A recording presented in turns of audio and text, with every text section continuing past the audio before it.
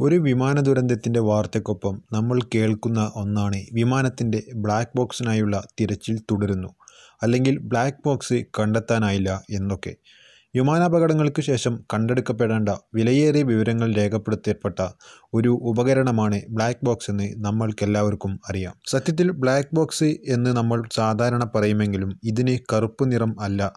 Black ബോക്സുകൾക്ക് യഥാർത്ഥത്തിൽ orange നിറമാണ് ഉള്ളത്. ഫ്ലൈറ്റ് ഡാറ്റ റെക്കോർഡർ എന്നാണ് യഥാർത്ഥത്തിൽ ഇതിന്റെ പേര്. ബ്ലാക്ക് ബോക്സ് എന്ന പേര് എങ്ങനെയുണ്ടായി എന്നത് യഥാർത്ഥത്തിൽ വ്യക്തമല്ല. അപകടത്തിൽപ്പെട്ട വിമാനത്തിന്റെ അവശിഷ്ടങ്ങളിൽ നിന്നും മറ്റും ബ്ലാക്ക് ബോക്സ് പെട്ടെന്ന് കണ്ടെത്താനായാണ് ഓറഞ്ച് നിറം നൽകിയിരിക്കുന്നത്. രണ്ട് പ്രധാനപ്പെട്ട ഭാഗങ്ങൾ കൂടിയതാണ് ബ്ലാക്ക് ബോക്സ്.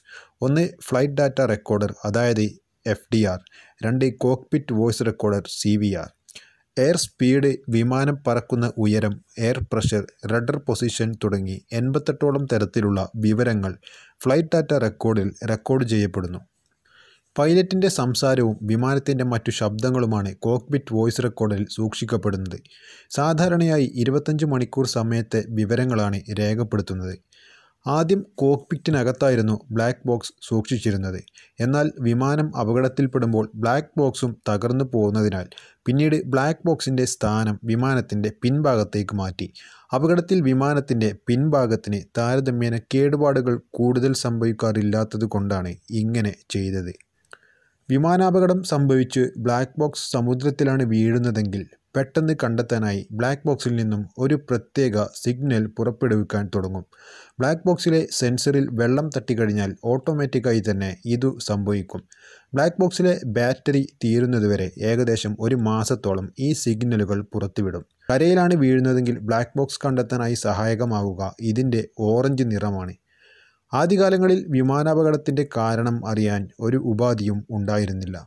പിന്നീട് ബ്ലാക്ക് ബോക്സ് വിമാനങ്ങളിൽ നിർബന്ധമാക്കിയതോടെ വിമാനാപകടങ്ങളുടെ കാരണം അറിയാൻ കഴിഞ്ഞു.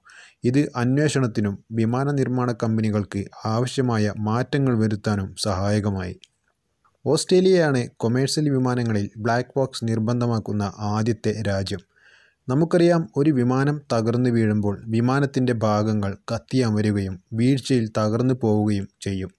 ഈ സാഹചര്യങ്ങളെയെല്ലാം മറികടക്കാനുള്ള കഴിവ് ബ്ലാക്ക് ബോക്സുകൾക്ക് ഉണ്ടായിരിക്കണം.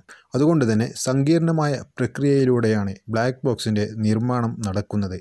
ആയിരത്തി ഒരുന്നൂറ് ഡിഗ്രി സെൽഷ്യസ് ചൂടിലും അയ്യായിരം പൗണ്ട് മർദ്ദത്തിൽ അഞ്ച് മിനിറ്റോളം പരീക്ഷിച്ചുമൊക്കെയാണ് ബ്ലാക്ക് ബോക്സുകൾ വിമാനങ്ങളിൽ ഘടിപ്പിക്കുന്നത്. സമുദ്രത്തിൽ രണ്ടായിരം അടി താഴ്ചയിൽ ജലത്തിന്റെ മർദ്ദം താങ്ങാനും ബ്ലാക്ക് ബോക്സുകൾക്ക് കഴിയും. വിമാനാപകടത്തിനു ശേഷം ബ്ലാക്ക് ബോക്സ് കണ്ടെടുക്കപ്പെട്ടാൽ ഇതിലെ വിവരങ്ങൾ ഒരു പ്രത്യേക ടീമിന് മാത്രമാണ് അവലോകനം ചെയ്യാൻ അധികാരമുള്ളത്.